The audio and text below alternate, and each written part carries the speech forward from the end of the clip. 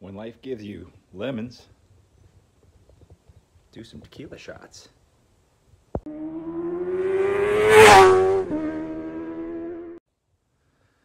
Hello, my friends, and welcome to Tom's Tinkering and Adventures.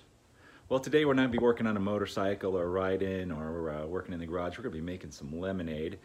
Um, you know, summer's coming up, and I live in an area of San Diego called Lemon Grove. And guess what? There's lemons. Of course, all in Southern California, a lot of citrus here. A uh, friend of mine delivered me this entire bag of, well, let's see, one, two, three bags of lemons when I mentioned that I wanted to make some homemade lemonade. Uh, well, I don't need quite that many. Um, I guess I'll be making lots of lemonade. But uh, we're going to get started. What you need is about six or seven lemons.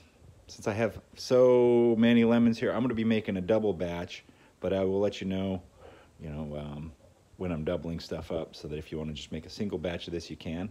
But if you have an abundance of lemons, I could probably make a uh, 10 fold batch here. I just don't have enough room in my refrigerator to put that much lemonade. So first thing you want to do is pick out your lemons. Like I said, get about six or seven good sized lemons and wash them really well. So I'm going to take these in the sink, hit them up with some hot water and a scrubby brush. Look at those beauties, and they smell really good. Smell that? Oh, yeah. Now, the key to good lemonade is getting all the flavor out of these lemons. You can just cut these open, squeeze them into this bowl here, add some sugar and some water. You'd have lemonade. But the real flavor in a lemon is in the peel. That's where all the lemon oil is at. So what we need to do is we need to figure out a way to get that lemon flavor into our lemonade. So I know this is gonna be a little bit more work, and if you're lazy, and trust me, I am lazy as well, then you're probably just gonna go open a, a crystal light packet. But what we're gonna do is we are going to peel the outer skin off of these lemons, just like that.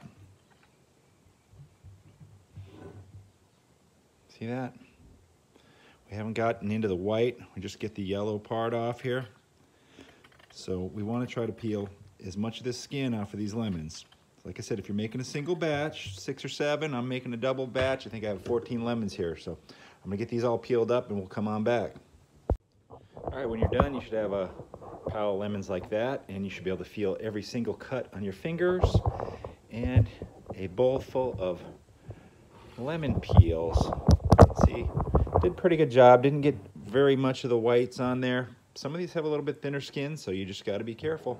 Now, what we're going to do to extract all this lemony delicious flavor and the lemon oils out of here is we're going to add the sugar to this.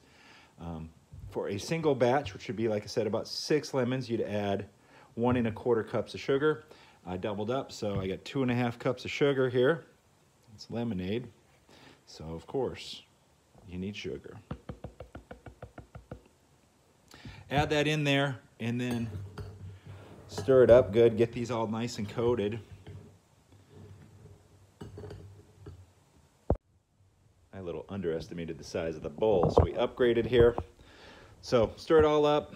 I'm gonna put some plastic wrap on this, and what you wanna do is you wanna let this sit about, well, I'd say at least four hours. You can let it sit all day, like 12 hours. I'm gonna, I'm started this early in the morning here, so I'm probably gonna try to go eight to 10 hours, let this sit. And the sugar is gonna help extract the oils out of these peels, and we'll take a look at it in a few hours. My lemon peels and sugar have been hanging out for about five or six hours now. And as you can see, that uh, sugar has kind of liquefied with the oil from this lemon peel. So what we're going to do now is we're going to extract all that out. I have 10 cups of water boiling here on the stove.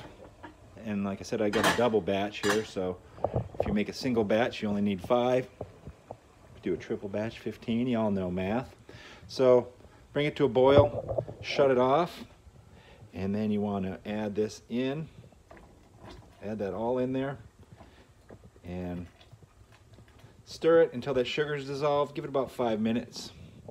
And then we're going to strain out the lemon rinds. Let's see if I can get you out. There you go. We'll scrape that out. Get all that goodness in there. And this smells really good right now. Super sweet and lemony. All right, your lemon peels and sugar only have to um, sit in there for a couple minutes. I let them sit for about four or five minutes, and then you strain out the lemon peels carefully. Try not to spill so much like I did.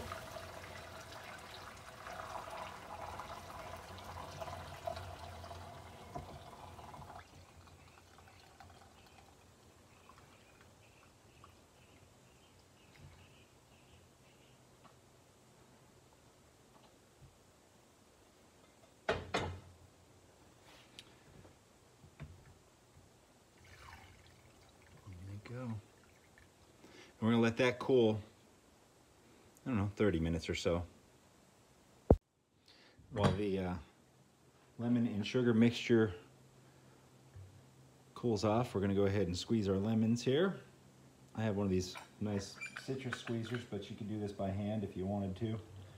Um, a lot of times this will put some pulp and some seeds in here, so if you have a strainer, you're gonna wanna strain this out so I've got a little bit of work ahead of me. Squeeze out these lemons. I got all my lemon juice in there. It's quite a bit, but uh, you know, I had what, 14 or so lemons. And our sugar mixture here has cooled off, so we're gonna add that to the pitcher. And that's why I like to make a double batch. Get almost a gallon there.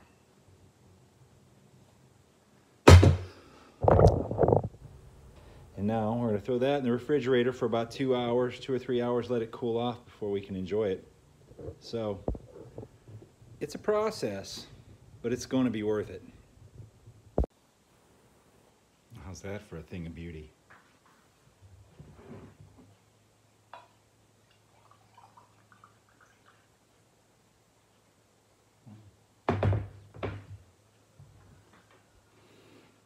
Cheers, everyone. A beautiful, nice, warm day, Southern California.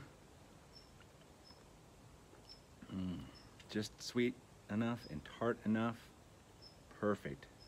Awesome lemonade. Refreshing to relax with. Now, like I said, it's a little bit more work than just squeezing some lemons and adding some uh, sugar and water, but I think you're going to enjoy it. All right, if you're liking the content I'm putting out, give me a thumbs up, leave a comment down below, and if you're not already a subscriber, why don't you consider doing so? Thank you very much for watching. Get out there and find your adventure. Adios.